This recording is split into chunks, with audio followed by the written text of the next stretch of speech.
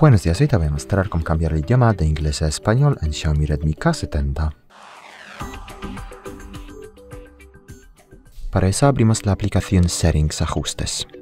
Y luego aquí más abajo buscamos esta pestaña, la con este icono con los tres puntos Additional Settings.